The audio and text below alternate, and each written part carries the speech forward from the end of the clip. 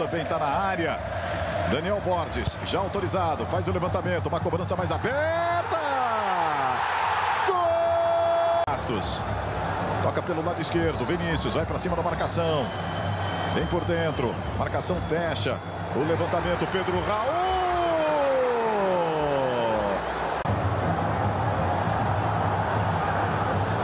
Olha o lançamento para o Vinícius. Tem espaço, Pedro Raul está pedindo no meio para virar, para virar.